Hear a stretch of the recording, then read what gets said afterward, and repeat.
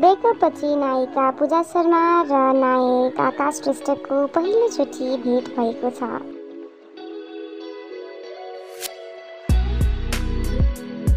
आकाश श्रेष्ठसँग breakup भएपछि नायिका पूजा शर्मा अहिले युद्ध बानियासँग प्रेम सम्बन्धमा छिन्।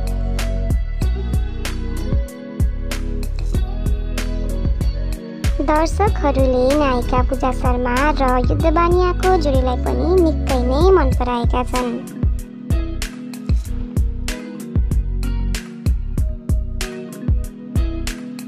तर पूजा शर्मा र आकाश श्रेष्ठको जोडीलाई फेरि पनि देख्न पाइयोस् भनेर दर्शकहरूको निकै नै ठुलो चाहना छ।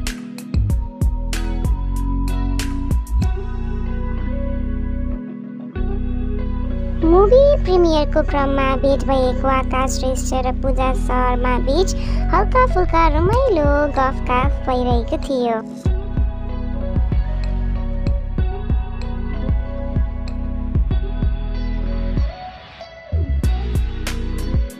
साँच्चै नै पूजा शर्मा र आकाश श्रेष्ठको जोडी निकै नै राम्रो देखिन्छ तर युद्ध बानियासँग पूजा शर्माको जोडी नराम्रो देखिएको भन्न खोजेको चाहिँ होइन